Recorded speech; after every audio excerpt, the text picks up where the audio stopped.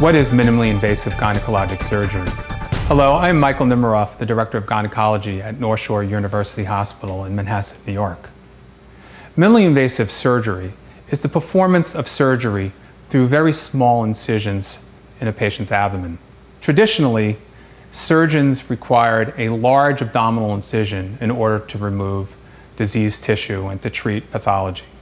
Fortunately today, thanks to medical technology, we have the availability of instrumentation that enables us, the surgeon, to remove tissue and perform complex procedures through very small incisions in a patient's abdomen.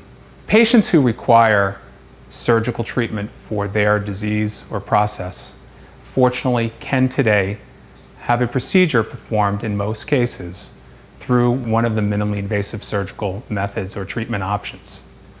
What are the advantages? The advantages to the patients are great. Avoiding the large abdominal incision enables our patients to get back to their normal routine, their normal activities quite rapidly.